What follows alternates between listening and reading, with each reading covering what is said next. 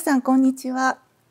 模擬授業を担当させていただきます横浜市立大学医学部看護学科老年看護学領域の金田です。老年看護学領域はスライドの写真に写っているメンバーで運営しています。本日は高齢者理解と支援というテーマでお話ししたいと思います。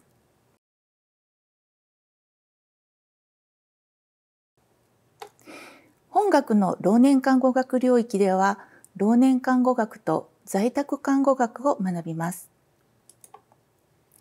まず、老年看護学での学びについてご紹介します。老年看護学では、まず、2年生の老年看護学方法論1、2で、高齢者看護の特徴や倫理、支援の場などについて学び、その後に体験体験学習として高齢者疑似体験を行います。3年生前期の老年看護学演習では、看護課程の展開や排泄ケア、食事介助などの実技演習を行います。そして、3年生後期の老年看護学実習では、これまでの学びで得た知識、演習を統合して看護を実践し深めます。実習先は本学の付属病院をはじめ、近隣の地域包括ケア病棟、高齢者施設など多くのフィールドがあり、各学生が様々な実習先で学んだことを学内カンファレンスで共有し、さらに学びを広げます。本日は老年看護方法論の一部をお話しします。皆さんは加齢に伴って体がどのように変化していくかご存知でしょうか？高齢者を理解する上で加齢に伴いどのような変化が生じるかを知っておくことはとても重要です。では順番に見ていきましょう。循環器、呼吸器系の変化についてです。心臓の機能の予備力が低下し、運動負荷時の心拍出量が低下することからめまいやふらつきを感じやすくなります。動脈血管の弾力性が低下し、血圧が上昇しやすくなります。上気道の分泌物の運搬能力や外装力が低下し、呼吸器感染症にかかりやすくなります。また、肺の換気機能、換気量の低下、ガス交換機能の低下などから動悸や息切れをしやすくなります。次に消化器、泌尿器系です。唾液分泌量の減少、咀嚼機能の低下、食道の前動運動の低下から誤嚥が起こりやすくなったり、胸焼けを感じやすくなります。胃腸の粘膜の萎縮により栄養吸収面積が減少することなどから低栄養が起こりやすくなります。幹細胞数の減少、単純酸分泌量低下などから薬物代謝の遅延や血中コレステロールの増加が起こりやすくなります。また、腎臓の子宮体ろ過量の低下や尿細管の萎縮、カリウム再吸収能の低下や高利尿ホルモンの分泌減少から薬物代謝の遅延や頻尿、脱水をきたしやすくなります。次に感覚系についてです。水晶体の弾力性低下と毛様体筋の萎縮、タンパク質の構造が変化し、水晶体が混濁し、老子や白内障が起こりやすくなります。内耳にある有毛細胞が減少し、高音域の音が聞き取りにくくなる感音性難聴が起こりやすくなります。また、接触、痛み、温度などを感知する感覚受容器の数の減少や情報を伝達する感覚神経繊維数が減少し打撲や熱傷などに気づきにくいということが起こります。次に運動器系です。運動器系では軟骨細胞の基質合性能の低下により関節軟骨は弾力性を失い硬化するため関節可動域の制限が起こります。椎間板の摩耗による脊柱の湾曲に加え、腰背部筋の減弱によりまっすぐ体を支えることが難しくなり、炎肺になりやすくなります。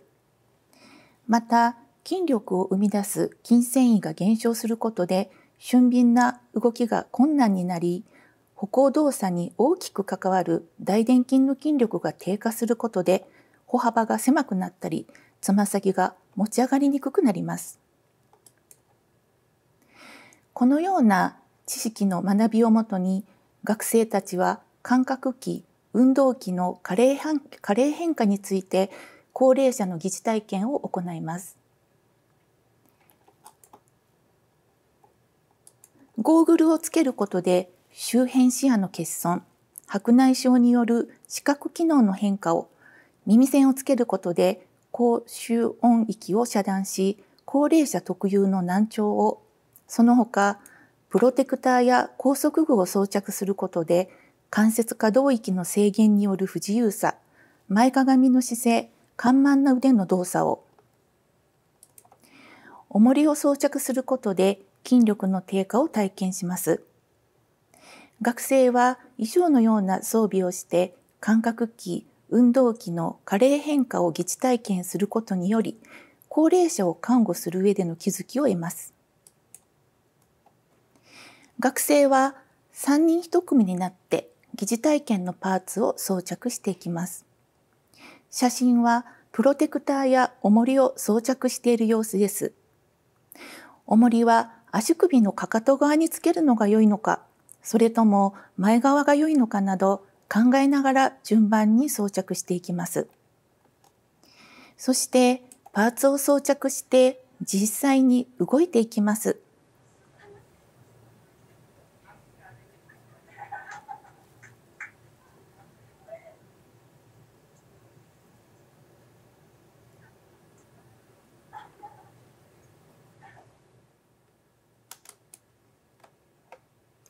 実際に演習室内や廊下を歩行したり階段昇降を行います。階段昇降では普段は意識しなくとも降りられるのに高齢者を疑似すると手すりにつかまらないと落ちそうで怖いということや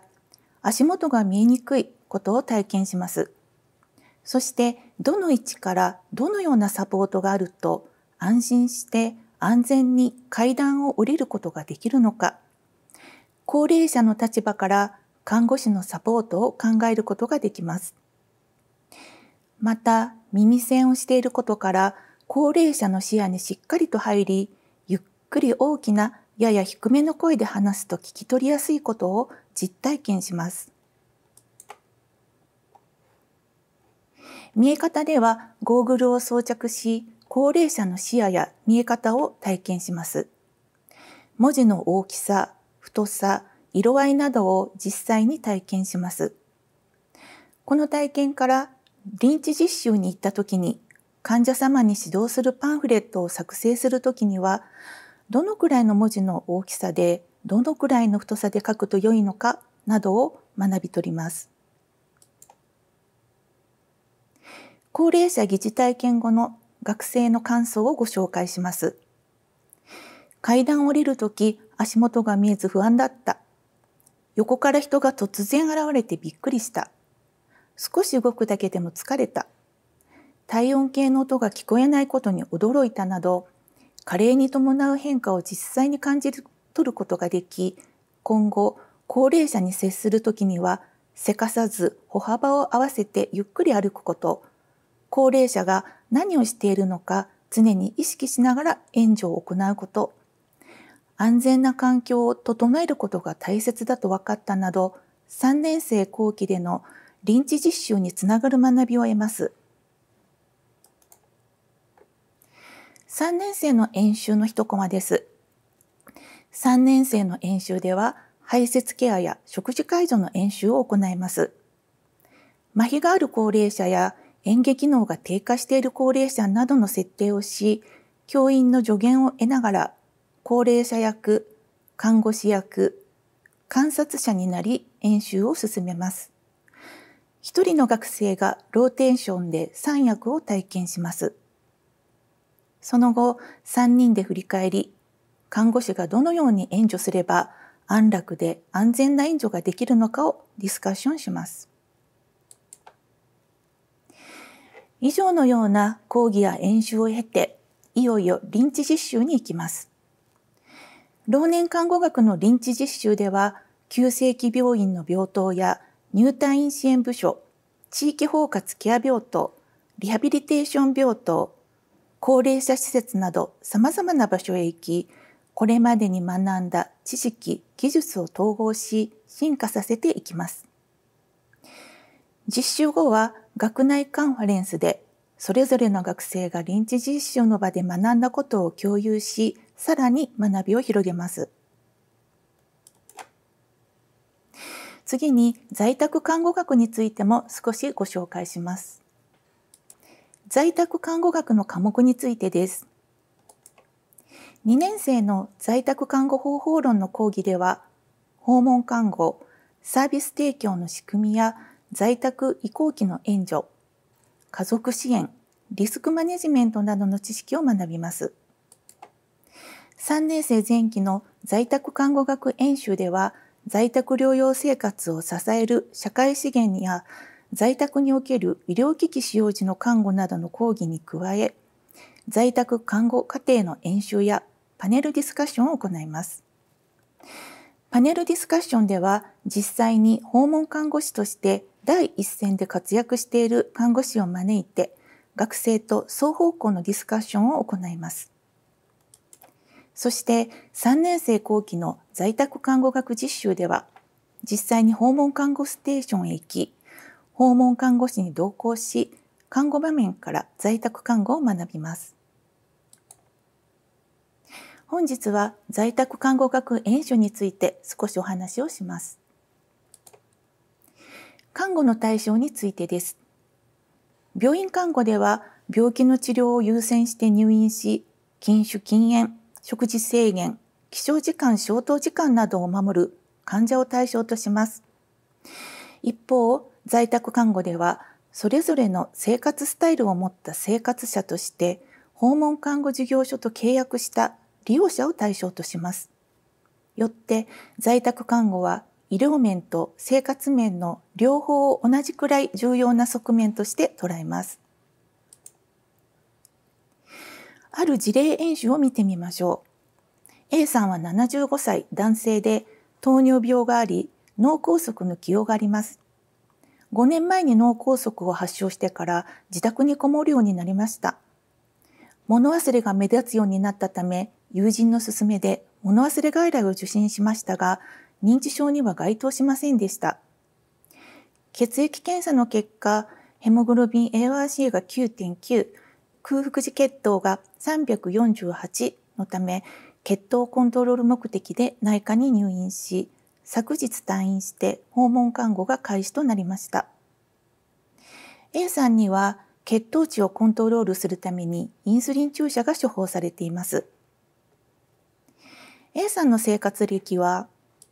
16歳から65歳に大工さんをしていて、現在の住まいはご自身で建てた住まいです。20年前に奥さんを亡くされてからは独居生活です。15年前から詩吟を始め、友人と習いに行っていましたが、あ習いに行っており、年1回の発表会に出ることが楽しみでしたが、5年前からは出ていません。隣の県に50歳の一人息子がいます。A さんはお酒が好きでビールを1日に2本飲みます。要介護度は2で、現在年金暮らしの方です。ある訪問看護の場面を見てみましょう。A さんは日常生活で困っていることはないと話します。朝10時に起床し、食事は1日3食摂取しますが不規則です。朝昼はパンや麺類、夕方はスーパーで購入した好きな惣菜とともに晩酌をしています。訪問看護師がゴミ箱を見てみると、缶ビールの空き缶が8本、尿汚染したおむつも捨ててありました。血糖測定ノートを見ると、測定はしたりしていなかったりです。A さんは、いいんだ。自宅で好きなように過ごしたい。と投げやりな雰囲気です。A さんの居室を見ると布団のそばに使い込んだ詩吟の本が置かれています。布団からの立ち上がり動作を見ていると時間はかかりますがなんとか立ち上がれていました在宅看護学演習の授業では A さんを医療面と生活面から捉える枠組みを使って情報を整理します。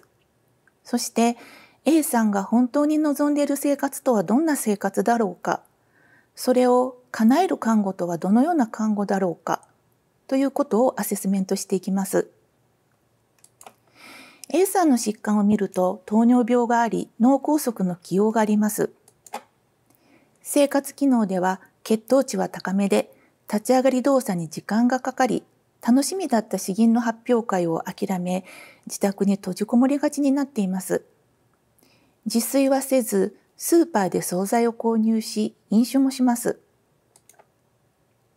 A さんの背景因子では息子さんとは疎遠で20年前に奥さんを亡くしています。大工さんとして長年働いてきた方で自分で建てた家で暮らしています。そしてどことなく投げやりの感じの方です。このように在宅看護では疾患だけでなく A さんという人を多角的に捉えていきます。演習で A さんをアセスメントしていくと立ち上がり動作が不便になり詩吟の発表会では立ち上がり動作があるため詩吟仲間とも疎遠になり、発表会に出る楽しみを失い、投げやりな暮らしになっていたことが分かってきました。そこで A さんの楽しみである詩吟の発表会を再開するために、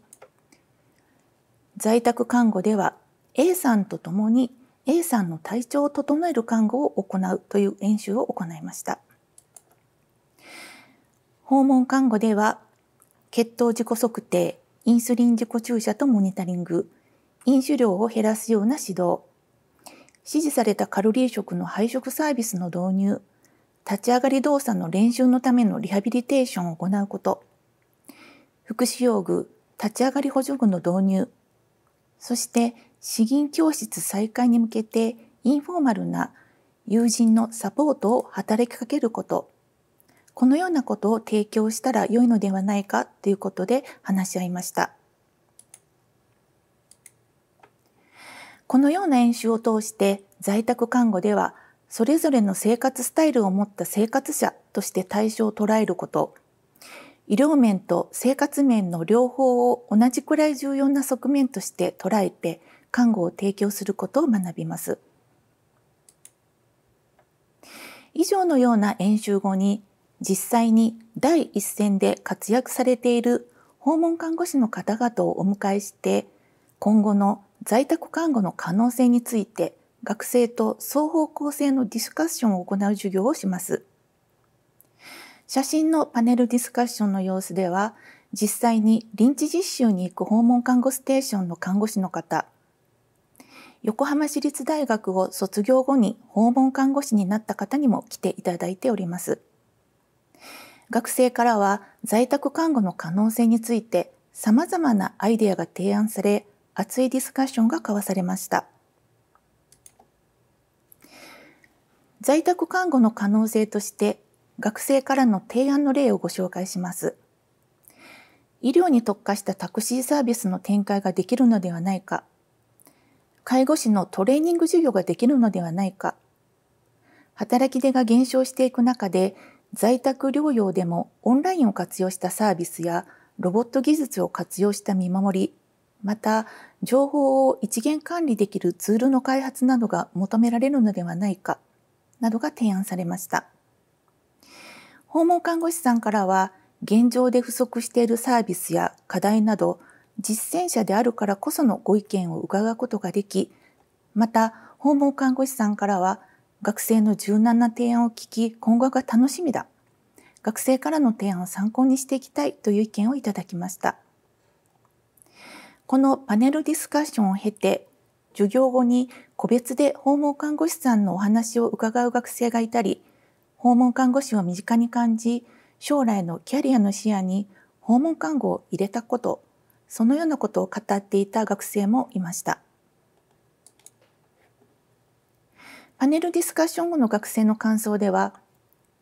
訪問看護は疾患を治すことだけではなく対象者が望む生活が実現できるように対象者の意向を尊重することが重要だと感じた。自分以外の学生の柔軟な発想やパネルディスカッションの先生方の経験を踏まえた意見などを聞いて視野が広がった。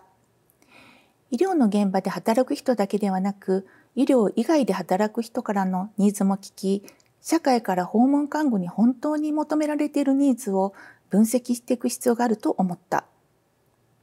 訪問看護が網羅する看護の幅の広さに驚いた一方で、訪問看護以外の人たちの経験、視点も組み合わせた在宅療養を支えるシステム作りが必要だと思った。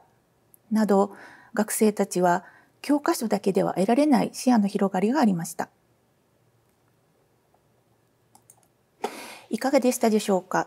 今日は本学の老年看護学領域の授業、老年看護学と在宅看護学の一部についての話をさせていただきました。皆さんと本学でお会いできることを楽しみにしております。